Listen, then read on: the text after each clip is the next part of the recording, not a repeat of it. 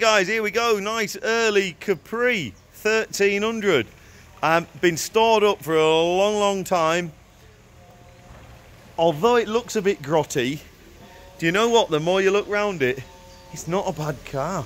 Want some arches and things, we know that, of course we do. But uh, the boot lock doesn't appear to want to unlock. We can't get in there at the moment. And obviously he's going to want a, a, um, a paint job. But on the face of it, actually looks a real good car. Showing 38,000 miles. And you know what? I reckon that's right. I'll be proved wrong, of course I will. But I would never be surprised if that was if that was correct. I think, judging by the either had a little dog or a cat in and out of it, one or the other. But um, yeah, she has definitely been stood around for a good while. Uh, but where it matters, look in there, where they're generally scruffy, she's good. Doors, good. So interior's good, doors are good, wings want a front and a back. Under the bonnet, whip that up, look. You have a look in here. In there, look at that. Inner wings, panels, etc. Look how good that is in there. Fantastic, isn't it? Little bit at the front, look, little tiny bit. But generally speaking, she's lovely. Underside of the bonnet, brilliant, no bother at all. But has kept well.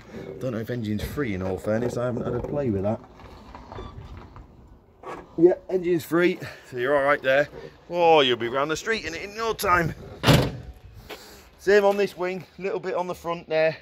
Generally, she's not bad at all. In fact, the back edge has survived quite well.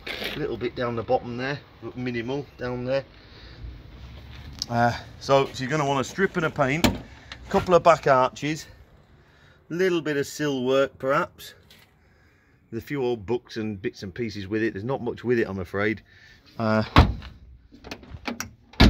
but she will make up a very genuine and a very nice Capri. Very, very smart. Under there, look, she's had a couple of little bits, but again, minimal really. She's not bad at all. Don't know how much of that you can see on there, but she does, it doesn't look too bad to me. Exhaust is a goner.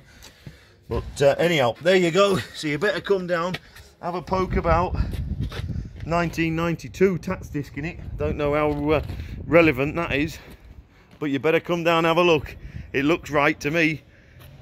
It really does. It looks a very, very special old car. So nip down have a look. Thank you.